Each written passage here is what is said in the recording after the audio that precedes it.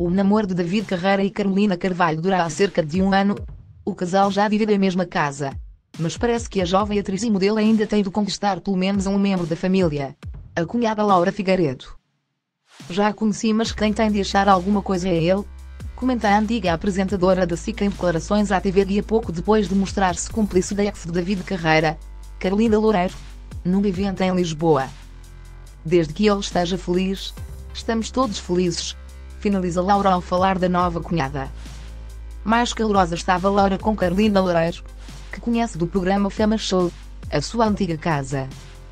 A relação de dois anos e da vida carreira e Loureiro acabou em 2017 pouco depois de o cantor ter feito uma declaração de amor em palco à apresentadora, e de ter lançado um videoclipe com a então namorada. Em 2018, David então começou a namorar com Carolina Carvalho, relação que assumiu este mês, com o vídeo da canção do jeito dela.